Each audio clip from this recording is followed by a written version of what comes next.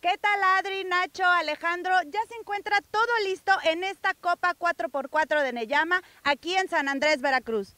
Sí, Roxy, hay que Saludo dexiano. ¿eh?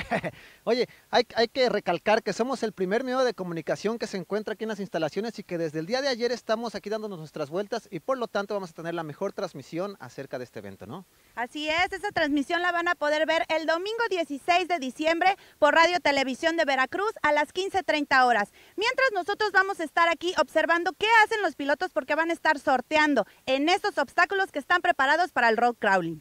¿Y qué te parece, Rox, si les mostramos un poquito de imágenes de lo que está pasando aquí, de cómo se están poniendo las, la, la pista, que vean eh, cómo está todo construido y todo listo para que usted se dé una vuelta para acá también, si anda por ahí en su casa y tiene ganas de ver unos coches haciendo cosas realmente extremas, pues que se dé una vuelta, ¿no? y con mucha adrenalina. Además, ustedes pueden venir y visitar San Andrés, a San Andrés Tuxtla, que es un lugar hermoso para visitarlo y estar aquí muy placenteramente. Claro que sí, el Parque Neyama, aparte es uno de los parques más bonitos en los que hemos estado y créanme, créanme cuando les decimos que tiene todo lo necesario para que usted venga y se dé una divertida pero fenomenal, ¿no?